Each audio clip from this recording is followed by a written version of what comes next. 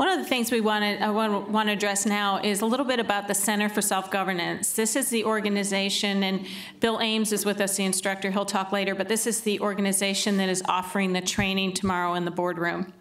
You know, Stacey and I have both taken several lev levels of the Center for Self-Governance, and I've even taken some of them more than once. And so what we want to do is share with you our experience and what we gained from this training.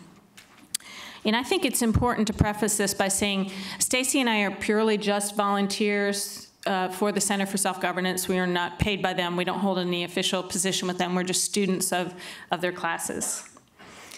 And we do this completely um, out of a love for our country and a concern for our country.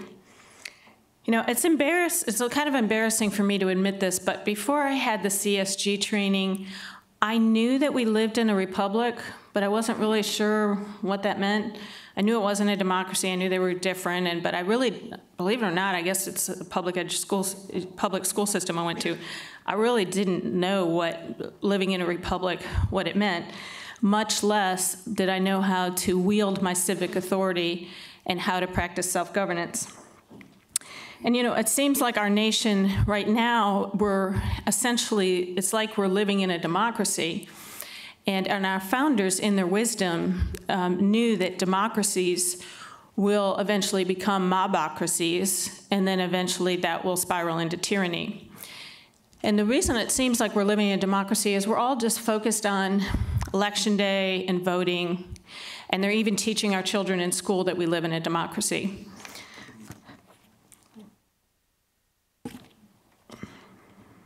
So in their wisdom, you know, we have we now have a republic, but to keep the republic, citizens need to participate in self-governance. And without this self-governance, you cannot keep a republic. You may re remember the story of Mrs. Powell. In 1787, she was anxiously awaiting as they emerged from the Constitutional Convention. And as, as Benjamin Franklin came out, she said, What kind of government have you given us? A monarchy or a republic? And he said, A republic, if you can keep it. Now, if you think about that, and how would he expect a woman who doesn't have vote to keep a republic? And it was through self-governance. She, she formed relationships and was able to voice the citizens' interest to elected officials including George Washington. She would have George Washington in her home, and would after uh, dinner they would go to the parlor, and she would discuss with him the issues that she felt were important to the citizens. So she was able to completely influence policy without even voting.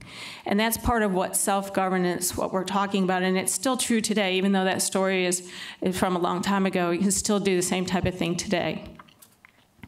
So without this counterbalance of citizen involvement, it's just the natural evolution for governments to grow and grow and become over corrupt over time.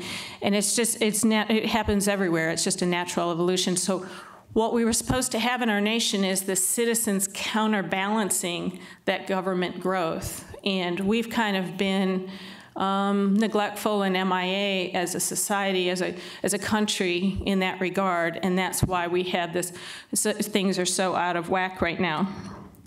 And you know, it's a complete misconception that you have to hold office in order to have, to have power. In fact, we have found that to be not the case at all. So you, you definitely, um, what you do need uh, to uh, have influence is you need some willingness, training, and a good strategy.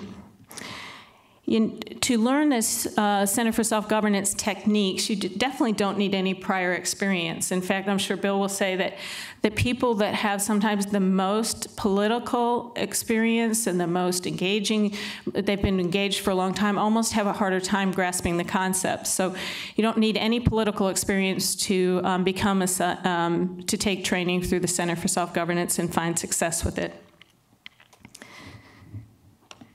So before CSG, I was using all kinds of different tactics. I was running around doing, oh my gosh, I did all kinds of things.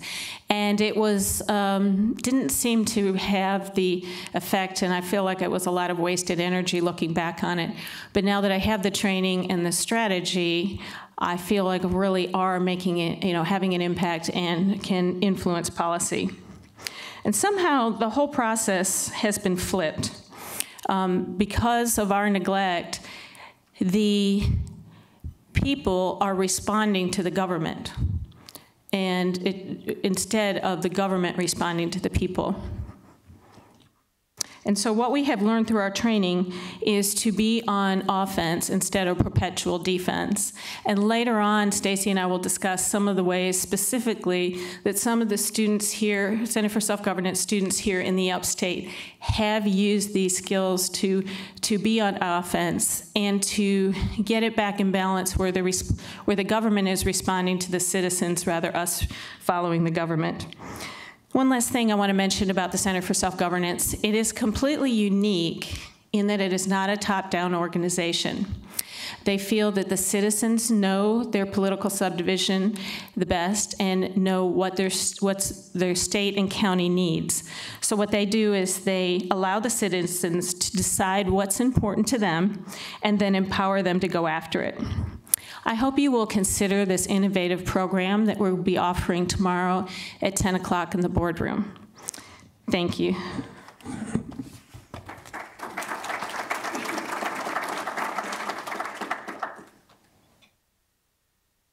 I think you heard a common theme in the speakers we've had so far this morning. Um, you know, their full-time jobs are to try to represent us well in some capacity in government or policy making.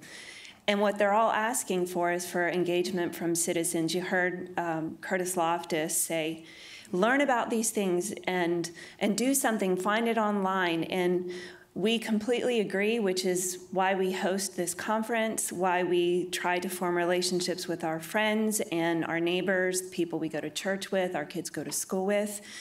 And uh, you know, Diane mentioned it at the onset of the of the day, and I'm going to read it to you. It's Article One, Section One of the South Carolina State Constitution. All power, all political power, is vested in and derived from the people only. So, how many feel like that's the truth?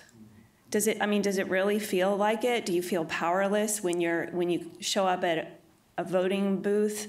and you feel like what you're what you really want isn't going to happen or that's the only place that you can have any influence and this time of year and this election cycle especially i mean there's there's so much emotion there and we are all certain that our candidate is the guy who's going to rescue us from the condition that we find ourselves in and there is no person who is the answer the answer is in all of you who are willing to be here on a Saturday instead of out in the spring lovely weather in South Carolina. People who are willing to form relationships with lawmakers because the, the definition of politics, if you ask Siri, it will say social relations involving a strategy to gain authority. And we don't get that authority if what we do is show up angry, show up and vote and go home, you know, rally around a candidate who you get elected to office, and then say, I've done my part. It's all up to you now. You better do your job the way I have elected you to do. We have to continue to be involved in these relationships with these lawmakers and with our fellow citizens to get everybody to do a little piece of the work in any sort of, of setting, a team makes all the difference, and everybody in the room here and everybody in the state can be a part of a team. One of the things that Diane mentioned that, uh, you know, we want to flip it around where we are driving what's going on in our government. That's the nature of a republic, and it seems we have forgotten that. It's, it's not an easy thing to stay engaged. Thomas Jefferson said the qualifications for self government in society are not innate, they're the result of habit and long training, and that's why we're here today.